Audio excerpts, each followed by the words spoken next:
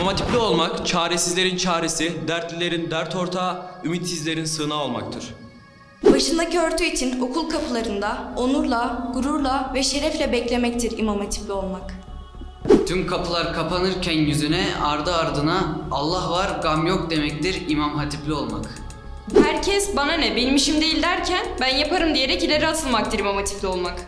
İmam olmak, aran adam olmaktır. Bu işi en iyi kim yapar dendiğinde hemen parmakla gösterilmek, bir vazife verildiğinde en iyi şekilde yerine getirmektir. Başkaları ne der diye değil, Allah ne der diye düşünmektir İmam Hatipli olmak. İmam hatipli olmak kim var denilince sağına soluna bakmadan ben varım demektir. İmam hatipli olmak, elinden ve dilinden zarar beklenmeyen kişi olmaktır. İmam hatipli olmak dert sahibi olmaktır. Yeryüzündeki tüm kötülükleri dert edinip adalet yeryüzüne hakim oluncaya dek mücadele etmektir. Kendisine sığınıp kapısını çalana, kapısını ve gönlünü ardına kadar açmak, varını yoğunu hak yolunda harcamaktır İmam Hatipli olmak.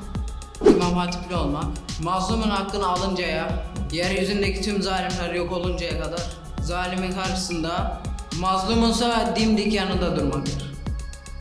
İmam hatipli olmak sorumluluk sahibi olmaktır. Dünyadaki tüm insanlardan, tüm Müslümanlardan kendini sorumlu hissetmektir. Sabretmektir imam hatipli olmak. Gecenin en karanlık vaktinin şafağın yakın vakti olduğu bilinciyle acılara, kederlere, baskılara ve zulümlere sabretmektir.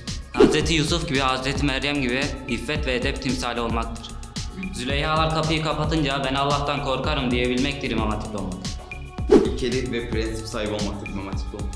Herkes zamana ve zemine göre hareket edip çeşitli şekillere bürünse bile eğilip bükülmemek, sırat-ı müstakimden şaşmamaktır. İmam hatipli olmak Asım'ın nesli olmaktır. Garbın afakını sardığında çelik sırtlı duvarlar, yokluklar içinde bile olsa hayat iman ve cihattan ibarettir şuuruyla zalime karşı göğsünü siper etmektir.